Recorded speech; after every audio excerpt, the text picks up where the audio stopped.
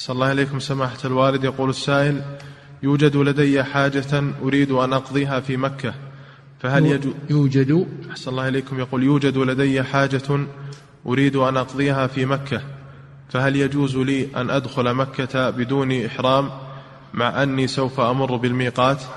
ما يلزم الإحرام إذا مر الميقات إلا من يريد الحج أو العمرة أما اللي يدخل لحاجة ولا يريد حجا ولا عمرة هذا لا يلزمه الإحرام.